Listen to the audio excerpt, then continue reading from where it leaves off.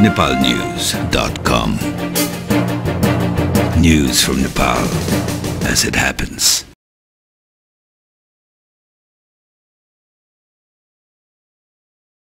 एकीकृत नेकपा माओवादीले दलहरूसँग सहमति गर्ने र आन्तरिक विवाद मिलाउने जिम्मा केन्द्रीय कार्यालयका चार पदाधिकारीलाई दिएको छ। शनिबार राजधानीको एक होटलमा दुई दिनसम्म चलेको पार्टीको केन्द्रीय कार्यालयको विस्तारित बैठकले विवाद मिलाउने जिम्मा चार पदाधिकारीलाई दिएको हो। पदाधिकारीहरूमा अध्यक्ष पुष्पकमल दाहाल उपाध्यक्ष द्वय बाबुराम भट्टराई र नारायण काजी श्रेष्ठ तथा सचिव कृष्णबहादुर बोगटी हुनुहुन्छ।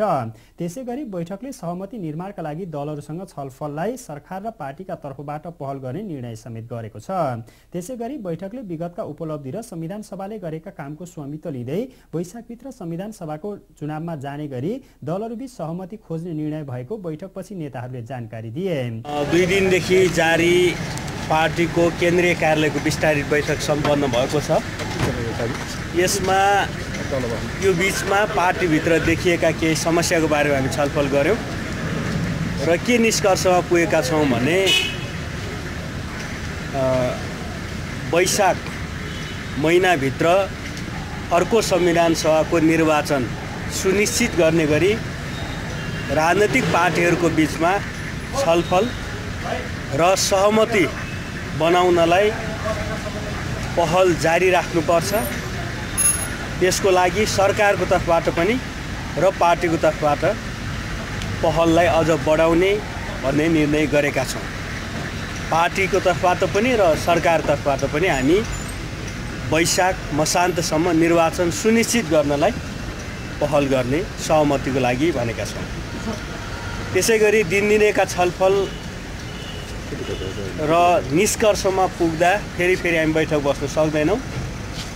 त्यसैले केन्द्रीय कार्यालयलाई यो चाहिँ छलफल र चाहिँ सहमति केमा गर्ने भन्ने कुरोको अन्तिम जिम्मेवारी केन्द्रीय कार्यालयलाई दिएको छ।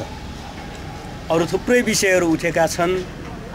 माओवादी पार्टीले सबै चिज छोड्यो कि भन्ने कुरो हामीले छोडेर सम्झौता होइन कि हिजो संविधान सभाले टुङ्गो गरेका विषयहरूलाई स्वामित्व ग्रहण गर्दै पहिचान र सङ्घीयता सहितको संविधान निर्माण गर्ने कुरोमा प्रतिबद्धता जाहेर गर्दै वैशाख मसान्तसम्म संविधान सभाको निर्वाचन सुनिश्चित गर्ने गरी नै सहमतिको प्रयत्न हिजो पनि गरिरहेको थियो आज पनि त्यही गर्ने आजको बैठकमा गम्भीर यो अहिलेको परिस्थितिको बारे हामीले समीक्षा गऱ्यौँ। राजनीतिक सहमति कायम गरी आगामी वैशाखमा संविधान सभाको निर्वाचन अधिकतम प्रयत्न गर्ने र हर प्रकारका सम्भावित भएका उपायहरू खोजी गर्ने र प्राप्त उपलब्धिहरूको रक्षा गर्दै त्यो दिशामा अगाडि बढ्नु पहल गर्ने एउटा निर्णय गरेका छौँ। त्यसको साथसाथै भोलिदेखि तीव्र गतिमा यो सहमति सम्वादको प्रक्रियालाई फेरि जारी राख्ने र त्यसको ठोस जिम्मा केन्द्रीय कार्यालयलाई दिने र त्यसको निम्ति सङ्घीयता समावेशी र समानुपातिक जस्ता जो हामीले प्राप्त गरेका उपलब्धिहरू छन्। सहमति गर्दाखेरि कुनै पनि हालतमा ती प्राप्त भएका सङ्घर्षका उपलब्धिहरूलाई गुम्न नदिने गरी सहमतिको बिन्दु खोज्ने भन्ने कुरा भएको छ। होइन सरकार सकेसम्म यही सरकारलाई नै राष्ट्रिय सहमतिको सरकार दिने हाम्रो पुरानो निर्णय कायम नै छ।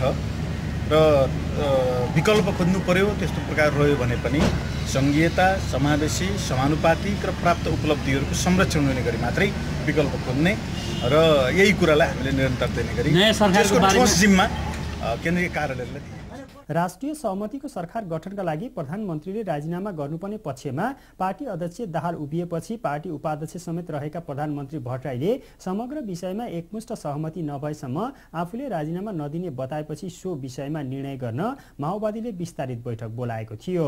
यद्यपि दुई दिनसम्म चलेको यस विस्तारित बैठकले भने सहमति सरकार निर्माणका लागि तत्काल सरकार छाड्ने वा नछाड्ने विषयमा भने कुनै औपचारिक धारणा बनाउन सकेन। माओवादीको विस्तारित बैठक सम्बन्धी समाचार यति नै nepalnews.com News from Nepal as it happens.